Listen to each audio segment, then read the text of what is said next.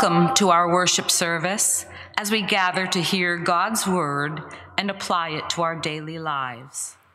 We pray that the spirit of Christmas shines for you throughout the new year.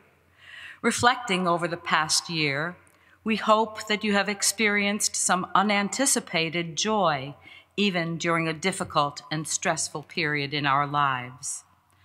Most of us have spent more time in our homes this year, and as a result, may have spent more time with our immediate family than we ever had and maybe ever will. It has also been a year of isolation for families, with even greater separation for those living alone, those who are hospitalized, and those living in skilled nursing facilities. It is a year we not only prayed, but lived the lesson of the Serenity Prayer to accept the things I cannot change, to have the courage to change the things I can, and the wisdom to know the difference. The separation and alienation from family and friends has been heartbreaking, if not devastating, for some. In the midst of these challenges, we have grown to appreciate the love we have for each other and grown closer to God the Father, God the Son, and God the Holy Spirit. We pray that you will always feel the love of God shine in your life, knowing that you are never alone, but carry Him with you wherever you go and always share His love with others. Amen.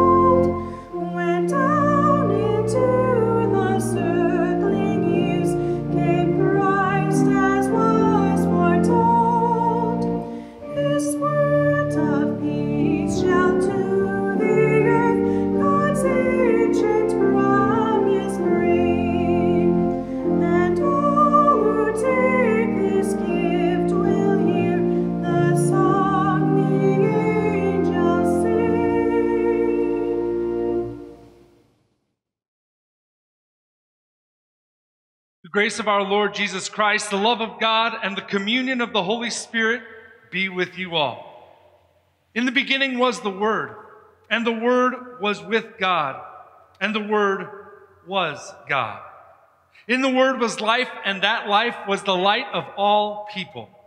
The Word became flesh and lived among us, and we have seen His glory full of grace and truth. Lord, from whom all hearts are open, all desires known, and from whom no secrets are hid. Cleanse the thoughts of our hearts by the inspiration of your Holy Spirit, that we may perfectly love you and worthily magnify your holy name.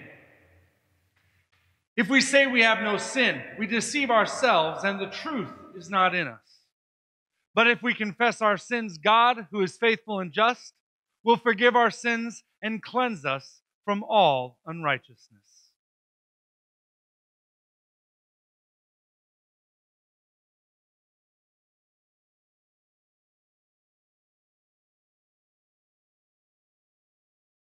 We confess together.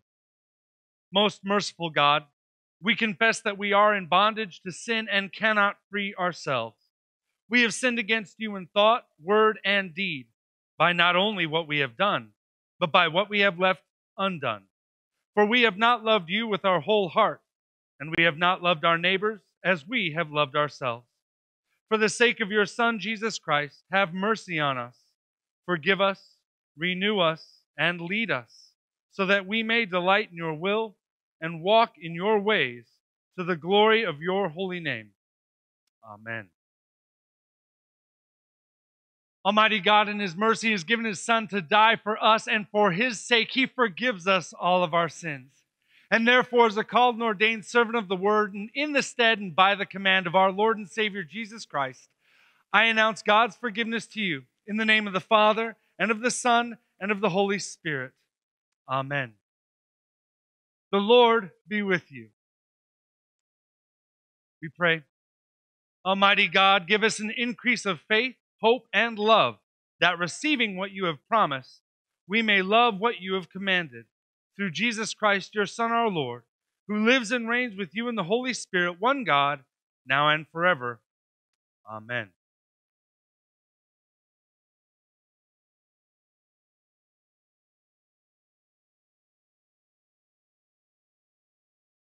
The Old Testament reading is from Isaiah chapter 61. I will greatly rejoice in the Lord. My soul shall exult in my God, for he has clothed me with the garments of salvation. He has covered me with the robe of righteousness, as a bridegroom decks himself like a priest with a beautiful headdress, and as a bride adorns herself with her jewels.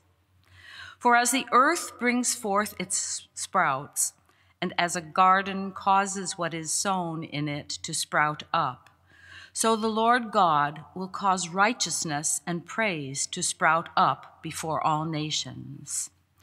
For Zion's sake, I will not keep silent, and for Jerusalem's sake, I will not be quiet until her righteousness goes forth as brightness, and her salvation as a burning torch. The nations shall see your righteousness, and all the kings your glory and you shall be called by a new name that the mouth of the Lord will give. You shall be a crown of beauty in the hand of the Lord, and a royal diadem in the hand of your God. This is the word of the Lord.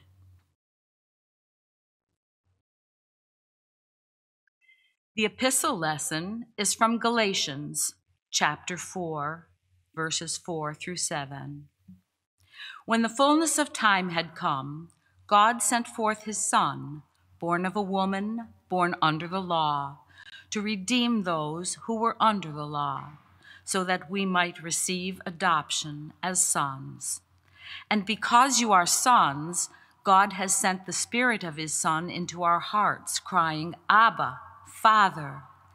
So you are no longer a slave, but a son, and if a son, then an heir through God. This is the word of the Lord.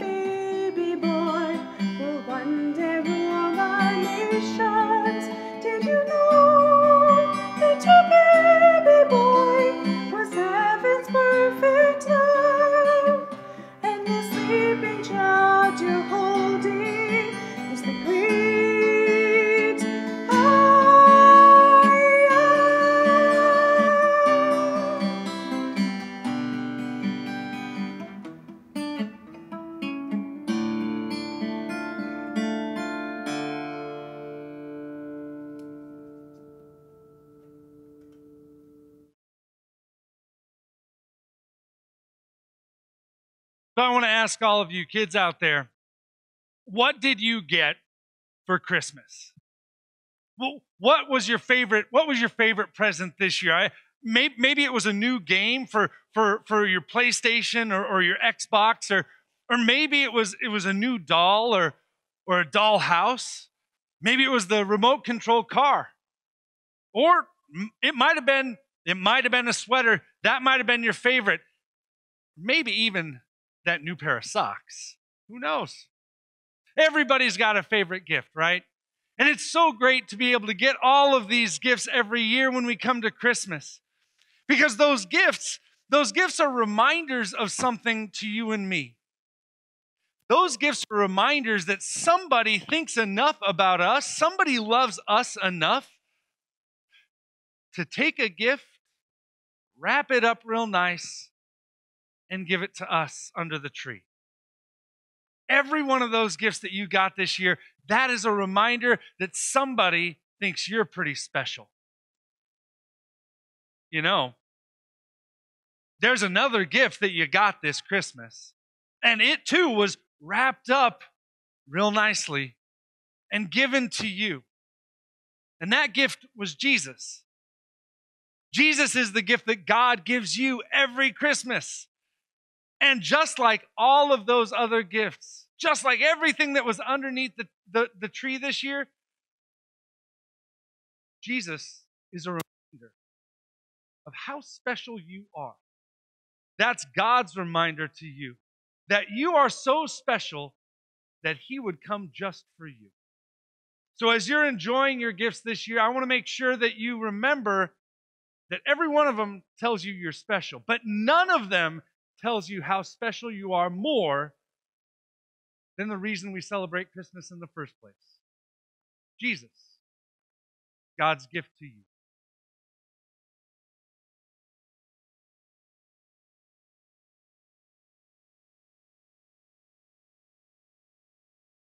The Holy Gospel is from Luke chapter 2, verses 22 through 40. When the time came for their purification according to the law of Moses, Mary and Joseph brought Jesus up to Jerusalem to present him to the Lord. As it is written in the law of the Lord, every male who first opens the womb shall be called holy to the Lord, and to offer a sacrifice according to what was said in the law of the Lord a pair of turtle doves or two young pigeons. Now, there was a man in Jerusalem whose name was Simeon, and this man was righteous and devout, waiting for the consolation of Israel. And the Holy Spirit was upon him. And it had been revealed to him by the Holy Spirit that he would not see death before he had seen the Lord's Christ. And he came in the Spirit into the temple. And when the parents brought in the child Jesus to do for him according to the custom of the law, he took him up in his arms and blessed God and said, Lord, now you are letting your servant depart in peace according to your word. For my eyes have seen your salvation that you have prepared in the presence of all people, a light for the revelation to the Gentiles and for your and for glory to your people Israel. And his father and his mother marveled at what was said about him. And Simeon blessed them and said to Mary, his mother, Behold, this child is appointed for the fall and rising of many in Israel, and for a sign that is opposed, and a sword will pierce through your own soul also, so that thoughts from many hearts may be revealed. And there was a prophetess, the daughter of Phanuel of the tribe of Asher she was advanced in years, having lived with her husband seven, seven years from when she was a virgin, and then as a widow until she was 84. Anna did not depart from the temple, worshiping with, worshiping with fasting and prayer night and day. And coming up at that very hour, she began to give thanks to God and speak of him to all who were waiting for the redemption of Jerusalem. And when they had performed everything according to the law of the Lord, they returned into Galilee, to their own town of Nazareth. And the child grew and became strong, filled with wisdom, and the favor of God was upon him. This is the word of the Lord. Praise to you, O Christ. Grace, mercy, and peace to you from God our Father through his Son and our Lord and Savior Jesus Christ. Amen. So, how was your Christmas? I'm, I'm, sure that you've heard this question at least a couple of times in the last couple of days. Maybe you've asked it yourself to a friend, a neighbor, a family member across the country. It's kind of a Christmas tradition, isn't it? It's, it's, it's almost as much of a Christmas tradition as the tree and the eggnog. Asking, How was your Christmas? What did you get? It's always fun to look back at Christmas. But in a way, this question is actually kind of sad too, because it reminds us that Christmas is over. How was your Christmas? for most of us, as soon as the presents were opened and the meal was done, well, Christmas was done too. And our minds started to move on towards the work that we have to do this week, or, or maybe we just moved right to New Year's and New Year's Eve and our plans for that. The magic of Christmas was past. You know, it wasn't always this way. In fact, that's what the song, The 12 Days of Christmas, is all about. The celebration of Christmas used to go on for 12 whole days. 12 days to reflect on what God did by sending his son into the manger.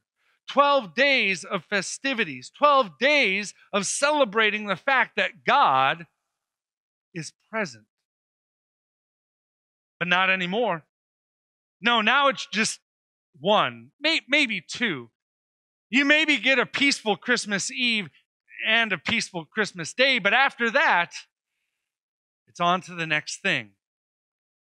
Time for what's next. Time to move on.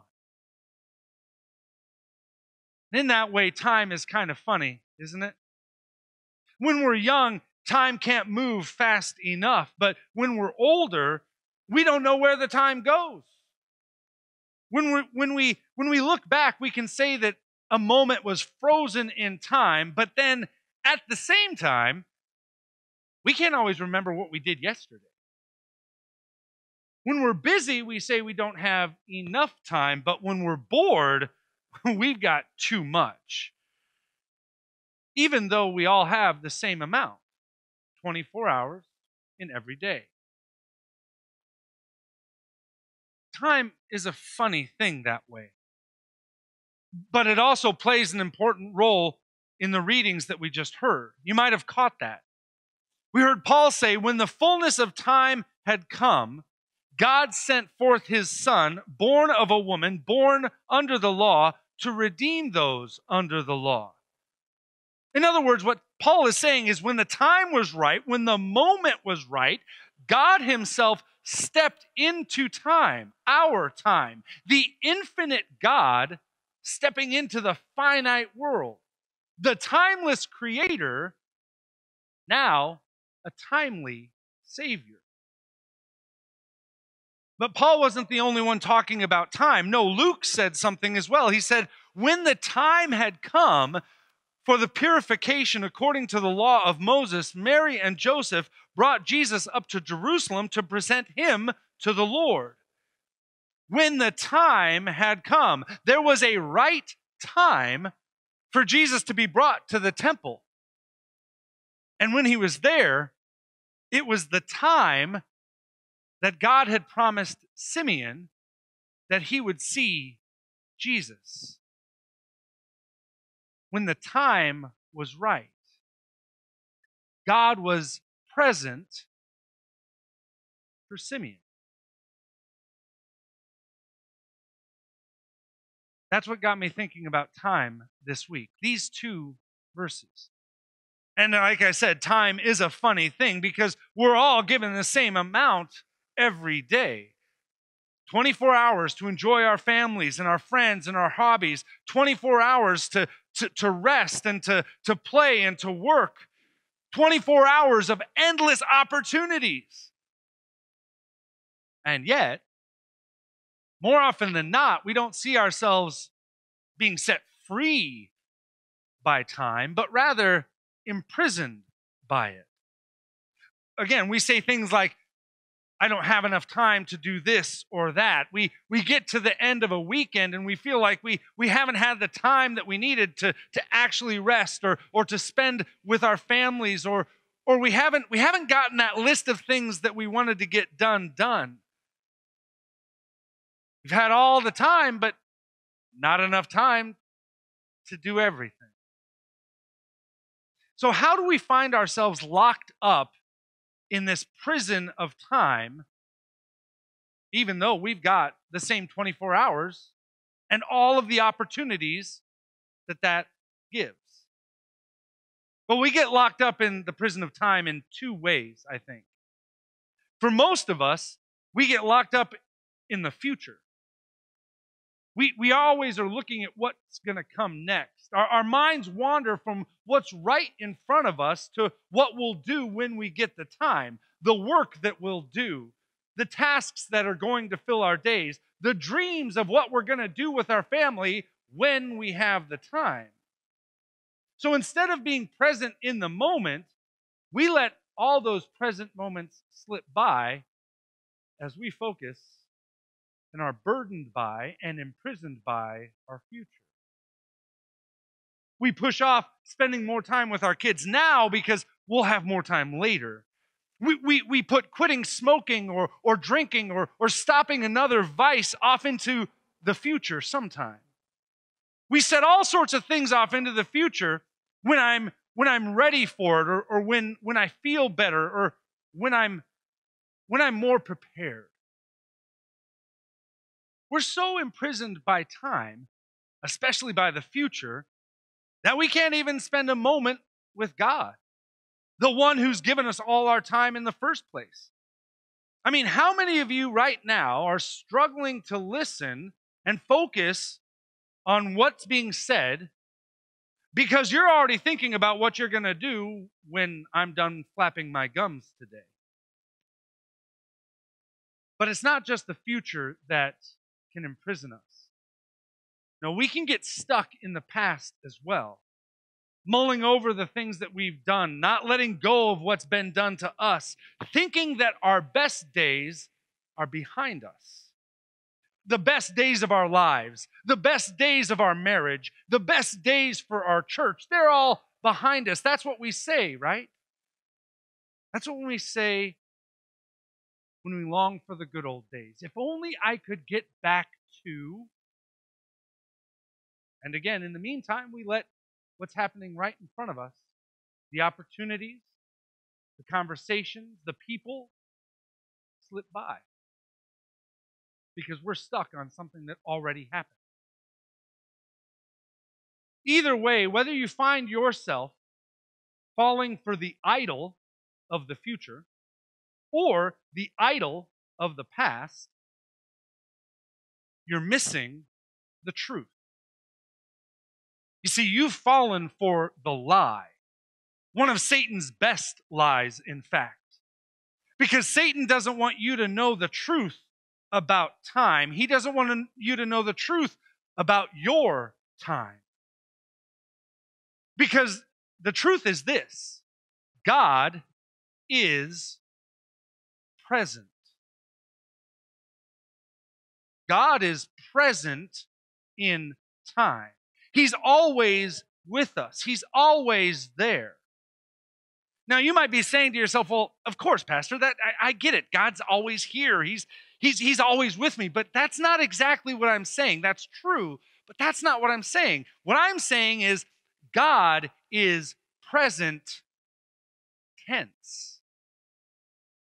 See, when God introduces himself to Moses, he actually says, I am. He doesn't say, I was. He doesn't say, I will be. He says, I am. God is in the present right now. God is present with you in this moment. In this moment and every moment, God is present. C.S. Lewis, in his famous work, The Screwtape Letters, says the present moment is where the infinite of God meets the finite of our lives. Let me say that again. The present moment is where the infinite of God meets the finite of our lives. The present moment is where God meets you. It's in that moment that God's infinite love is given to you. It's in a moment, the moment of decision, that God's strength to push off a temptation is given to you. It's in the moment of despair when God's comfort becomes present and real for you. In other words, God is active with you, walking with you, working through you in a present moment, in the now. God is present. And isn't that what Christmas is all about? God is present, not in some not in some ethereal way, not in just some spiritual way, but in the very real, physical, knowable way. God is present in Jesus in a way that we can see, touch, hear, and feel. God is present, Emmanuel, God with us in our time. And God is present with you. He is in this moment with you. In every moment. Sure, sure, God is going to be there in the future for you. That's what faith is all about. Believing that God will be with you in the next moment, the unknown moment. That's where trusting God really, really hits the road, right? The rubber meets the road in trusting God into the future. but God has been there in every moment of your past as well. I mean, we, we know that we can trust Him because God has never failed us. But if you want to know and experience the full and awesome power of God in your life, if you want to see the life changing, world altering wonder of God come through you, that can only be seen in the present moment. Because that's where God can change you and can work through you right now. You see, right now is where you could go and talk to someone about forgiveness, mending a, re- a relationship. Right now is when you could begin to fight back against that temptation that's been hounding you. Right now is when God is already working with you and speaking to you through His Holy Spirit. Right now, today, the present, this moment. This is where God presents you with the opportunity to be everything that He made you to be creative, loving, kind, generous, intelligent, funny, thoughtful, special, forgiving. Each moment of each day is where God's is where God meets you, the infinite and almighty God entering into your heart and your mind into time here on earth to free you from the prison of your past and the burden of your future. Every moment is another moment where the Holy Spirit can work in you and give you the same heart as Jesus. The humble heart that doesn't think less of yourself, but thinks of yourself less and others more. A humble heart that lifts others up, empowers others, and then brings peace and hope and healing into your life into the lives of your family, into your home, into your community. And the most amazing thing is this the more you are present and in the moment with other people, the more they will see that God is present with them through you. All because time is a funny thing especially when it comes to our relationship with God. The infinite God, the timeless creator, stepped into time, made himself present in time to free us from the prison of time and give us eternity. I know that was a mouthful. But when the time had come, God showed us in the past that our future is secure also, that in this moment and every moment, you could feel free, knowing that you have unending time to be everything that God has created you to be. I mean, how much, how much time do we waste on what was or what will be when all of the power, all of the opportunity, all of the creativity, all of the kindness, all of the grace, all of the forgiveness, all of the peace, all of the joy is in this moment. It's present because God is present. The great I am, present in this moment. Men, God with us.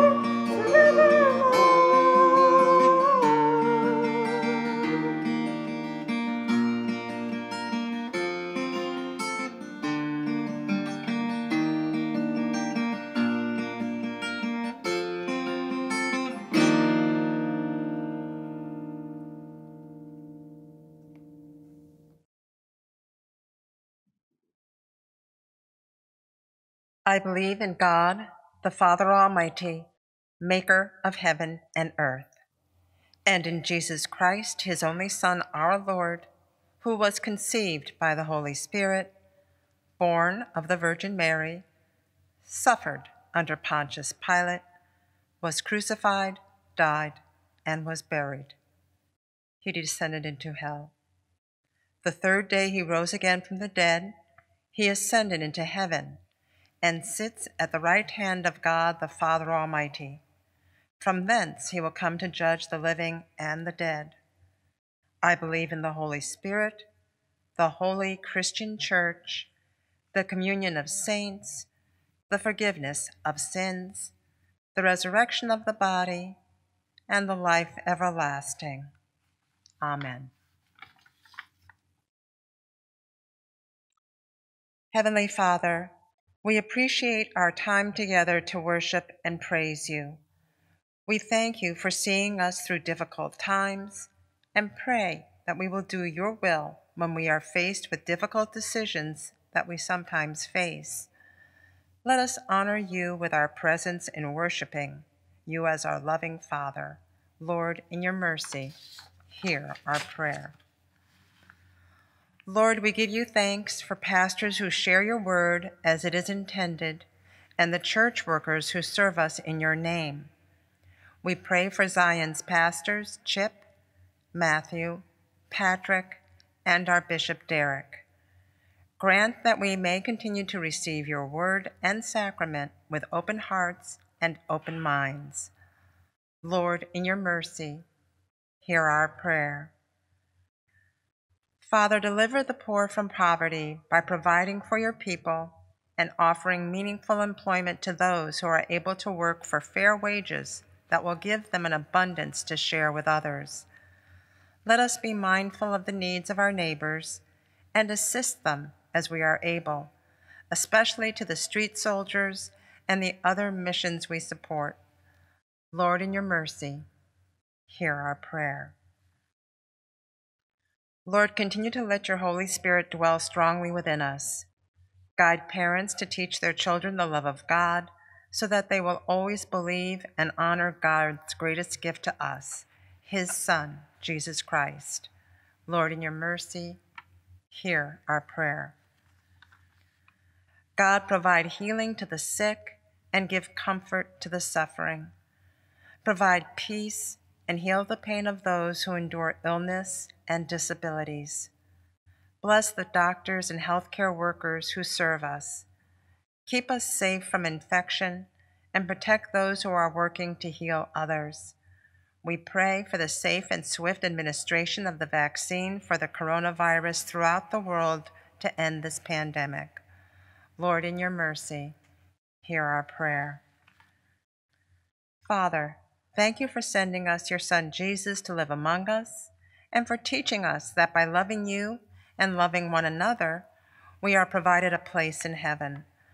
Let us always feel your spirit of peace within us and especially to those who are dying, as they enter their rest on this earth and awaken in your glory.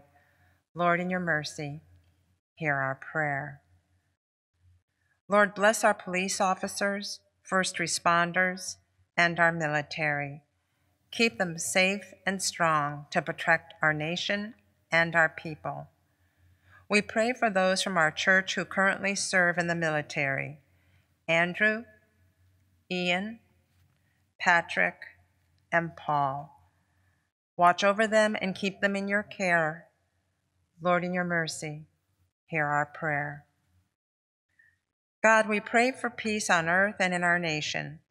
Bless those who govern that they will look to you for guidance and direction.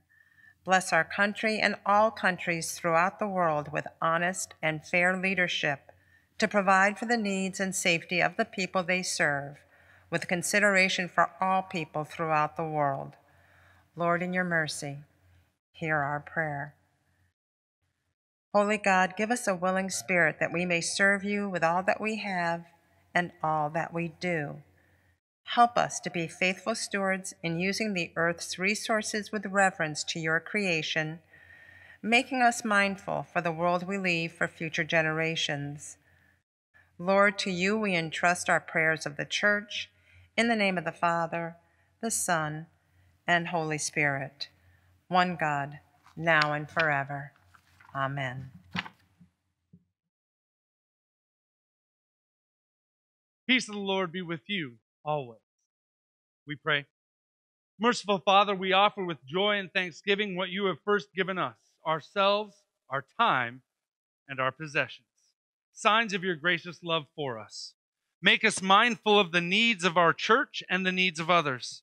Though we may not be physically present together in our worship, let us continually support the ministry of Zion and sustain the missions that we have committed to in helping those in need for the sake of Him who offered Himself for us, Jesus Christ our Lord. Amen.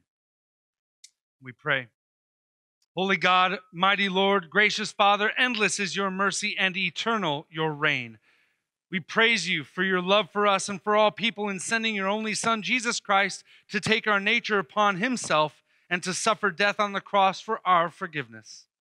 We pray to you, Lord, to send your Holy Spirit upon us and upon your gifts of bread and wine, that they may be a communion in the body and blood of our Lord and Savior Jesus Christ, who on the night in which he was betrayed took bread.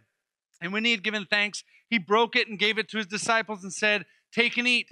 This is my body, which is given for you. This do in remembrance of me. In the same way, also, he took the cup after supper, and when he had given thanks, he gave it to his disciples and said, Take and drink of it, all of you. This is the new covenant in my blood, which is given and shed for you for the forgiveness of all of your sins. This do as often as you drink it in remembrance of me. For as often as we eat this bread and drink this cup, we proclaim the Lord's death until he comes again. And therefore, O God, we remember Christ's conception and birth, his suffering and death, his glorious resurrection and ascension, as we await his coming in power to share with us the great and promised feast.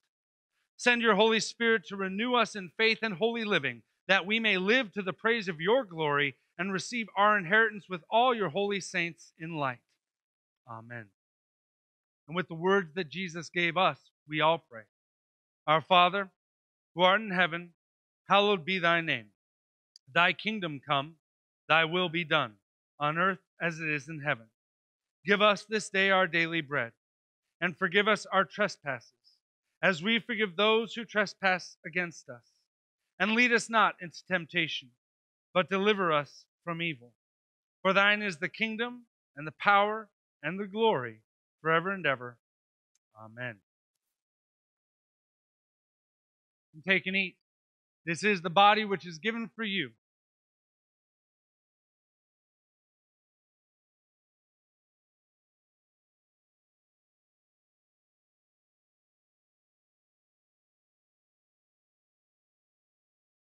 Take and drink. This is the true blood which was shed for you on Calvary's cross for the forgiveness of all of your sins.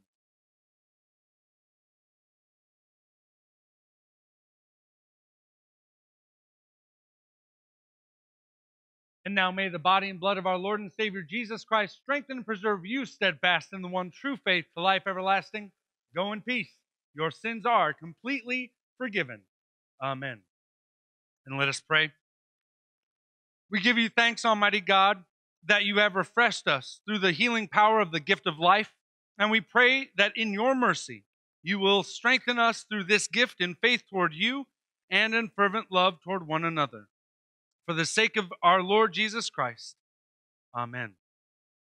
And as we go out today, we go with God's blessing upon us. May the Lord bless you and keep you.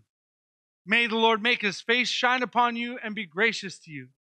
May he look upon you with favor and give you his eternal peace.